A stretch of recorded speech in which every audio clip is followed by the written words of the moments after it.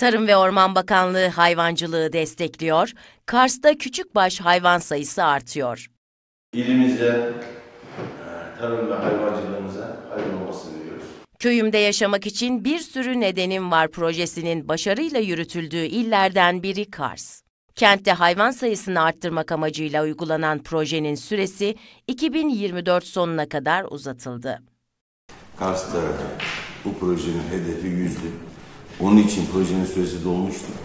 Sağ olsun bölge müdürlüğümüz, bakanlığımız projeye uzatma izni verdi 2024'ün sonuna kadar.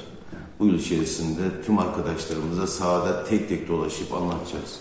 Valilikte düzenlenen imza töreninde konuşan Vali Ziya Polat, Kars'ın hayvancılığın başkentlerinden birisi olduğunu vurguladı.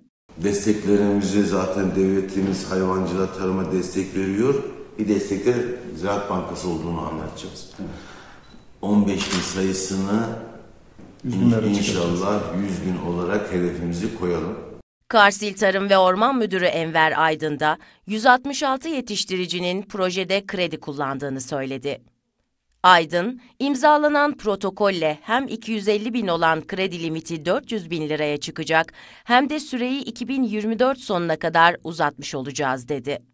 Konuşmaların ardından projenin bir yıl uzatılması için protokol imzalandı.